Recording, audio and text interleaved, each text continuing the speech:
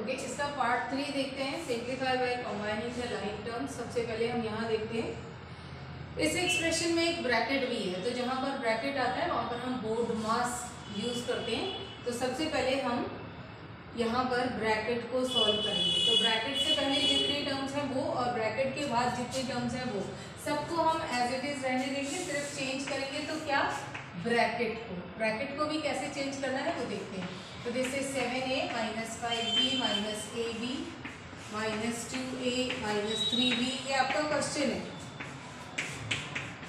Three a b minus b plus a अभी क्योंकि हमें ब्रैकेट सॉल्व करना है तो ब्रैकेट से पहले की जो भी ये तीन टर्म्स हैं, उनको एज इट इज़ लिख देते हैं। Seven a minus five b minus a b अब चलते हैं ब्रैकेट की तरफ़। तो यहाँ देखिए, ये है इतना आपका ब्रैकेट। इस ब्रैकेट से पहले है माइनस का साइन।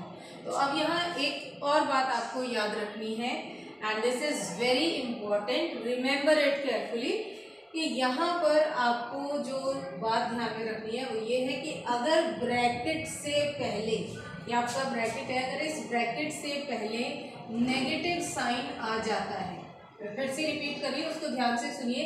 अगर इस ब्रैकेट से पहले नेगेटिव साइन आ जाता है तो इसकी साइन की वजह से इस ब्रैकेट के अंदर जो भी टर्म्स हैं, कितनी टर्म्स हैं? Two a minus three b plus a b तीन टर्म्स हैं। इन तीनों टर्म्स के जो साइन हैं, वो चेंज हो जाएँगे। ठीक है? ब्रैकेट से पहले अगर माइनस आ जाता है तो ब्रैकेट के अंदर जितनी भी टर्म्स होंगी सबके साइन ऑपोजिट हो जाएँगे। वो क्यों हो जाएँगे? क्योंकि आपको मालूम है, अभी यहाँ माइनस है और टू ए के साथ क्या है? प्लस है। तो माइनस प्लस क्या होगा? माइनस होगा माइनस माइनस क्या होगा? प्लस होगा माइनस प्लस क्या होगा? माइनस होगा। इस वजह से हम ब्रैकेट के बाहर अगर माइनस आ जाता है तो अंदर की सारी टर्म्स के हम साइन चेंज कर देते हैं। मीन्स ऑपोजिट कर देते हैं। अब इनके साइन चेंज कर देते हैं, ठीक है? यहाँ पर क्या है? टू ए के पास प्लस साइन है। तो प्लस को माइनस में बदल दीजिए। Minus two a minus three भी है, उसको प्लस थ्री भी कर दीजिए। प्लस ए भी है, उसको माइनस ए भी कर दीजिए। राइट ये आपको एक चेंज करना है, अगर ब्रैकेट से पहले माइनस का साइन हो नेगेटिव साइन हो। और पीछे की जितने भी टर्म्स हैं, उनको भी एज इट इज़ लिख दीजिए। अब लिखने के बाद आपको क्या करना है, इसमें से लाइक टर्म्स देखनी है। राइट अब मैं आपको स्टार्टिंग में, मैं आपको लाइक टर्म्स के ब्रैकेट्स बनाना सिखाऊँगी। आगे के क्वेश्चंस में हम ब्रैकेट्स नहीं बनाएँगे। विदाउट ब्रैकेट्स डायरेक्टली इसी लाइन पर हम सॉल्व करना सीखेंगे। यही एक स्टेप होगा जो आपका क्वेश्चन होगा और नेक्स्ट स्टेप आपका आंसर होना चाहिए इस टाइप के क्वेश्चन में। जहाँ पर आपको एडिशन और सब्ट्रैक्शन दिया जाता है, वहाँ पे आपका पहला स्टेप होता है क्वेश्चन और दूसरा स्टेप होता है आंसर बीच के ये जो स्टेप्स हैं अगर इस तरीके से कोई नेगेटिव साइन आ जाता है, तब तो आप स्टेप उसको करके दिखाएँगे। अदरवाइज़ आपका जो नेक्स्ट स्टेप है, वो आंसर ही होना चाहिए। यहाँ पर मैं आपको स्टार्टिंग है, आपकी अभी आप लोग प्लस माइनस सीख रहे हैं जेनरेट एक्सप्रेशंस का। इसीलिए मैं आपको ब्रैकेट्स बना के बताऊँगी। तो ब्रैकेट से आपको आसान हो जाएगा कि आपको क्या क्या टर्म्स देखनी है राइट तो हम सबसे पहले काम करते हैं ए की टर्म्स बनाते हैं। यहाँ ए है तो हम ए के जितने भी यहाँ पर टर्म्स हैं, वो पिकअप कर लेंगे राइट ये बी है, ये ए बी है, ये ए है। तो इसको इसके साइन के साथ उठाएँगे minus two a right and उसके बाद प्लस ए ये तीन टर्म्स हैं ए की। प्लस करके दूसरा ब्रैकेट बनाते हैं बी का। तो माइनस साइन के साथ लेंगे इसको minus five b right plus three b and minus b ये मैंने बी की ब्रैकेट्स बना ली। अब ए बी की ब्रैकेट्स बनाते हैं। Minus a b again minus a b and plus three a b ठीक है?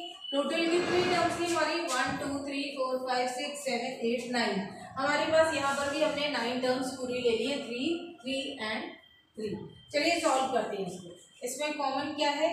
ए अब इसके नंबर्स की तरफ़ देखते हैं सेवन सेवन माइनस टू अब यहाँ पर जब आप सॉल्व करेंगे तो यहाँ पर ये ए हटा दीजिए।